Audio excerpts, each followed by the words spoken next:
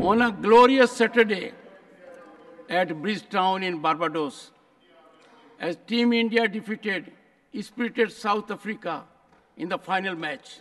A stupendous performance by our cricketers who remained undefeated throughout the tournament.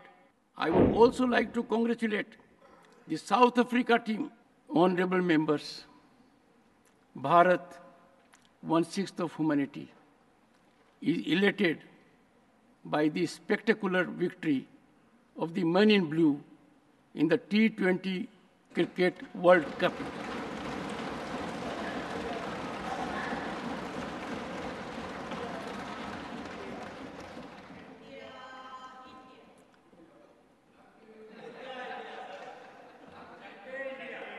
On a glorious Saturday at Bridgetown in Barbados, as Team India defeated spirited South Africa in the final match.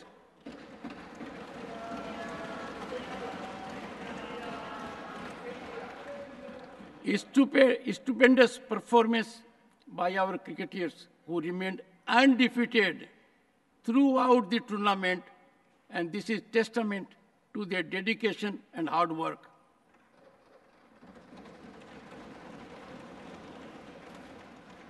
It is celebration of teamwork, resilience, and relentless pursuit of excellence.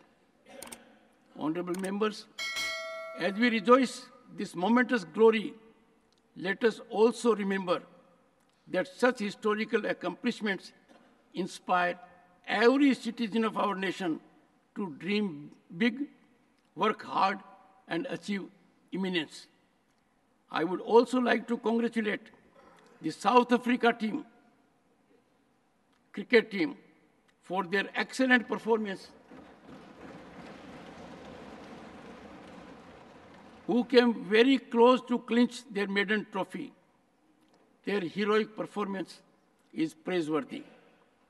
Honorable members, on my behalf and on behalf of this August House, I extend our heartiest congratulations to the cricketers, the management, ground staff, coach, the BCCI, and everyone connected with the Indian cricket team.